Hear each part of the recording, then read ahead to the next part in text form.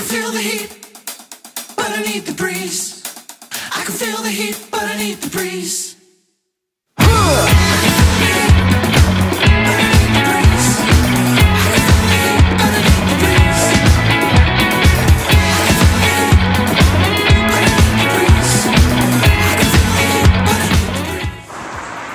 In 2015, England is hosting one of the world's biggest sporting events, the Rugby World Cup. Because of this, and as a massive rugby fan myself, I thought what better way than to come to one of the oldest rugby clubs in the history of the world. Founded in 1845, I'm here at Blackheath Rugby Club, known as the club. Let's take a look inside. Right, in my kit, got my gum shield, boots on. Wish me luck. So now we're going to see a scrum. The forwards do this, and they're about to go head to head, all six of them. Pause. Set. Hit. And this is what I'm about to have a go at. And you have to push against each other to see who can win the ball, which will be underneath in the middle. There you go. So uh, I'm now going to have a go at being a hooker.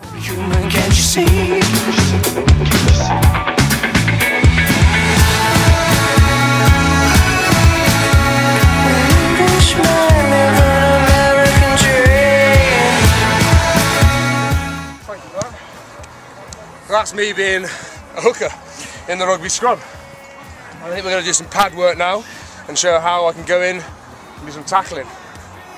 Hello, I'm Stan Colomb and I'm here today with three of five members of Daytona Lights, one of London's new up and coming bands. So uh, let's meet the guys. So we've got uh, Sam here, the drummer. Hello, Sam. Hello, Stan. Hi, Stan. We've got Dan, the uh, front man, and Lawrence on bass. Hello. How are you doing, guys?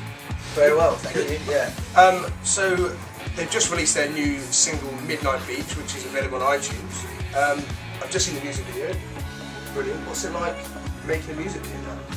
Um, yeah, it's great fun. You get to uh, make music.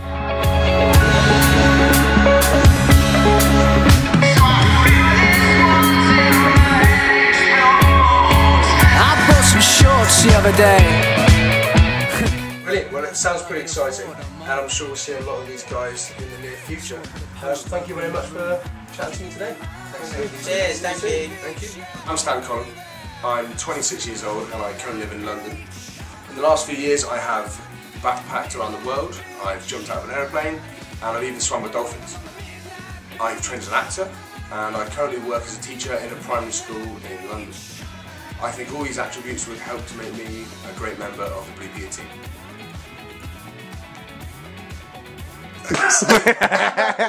That was good.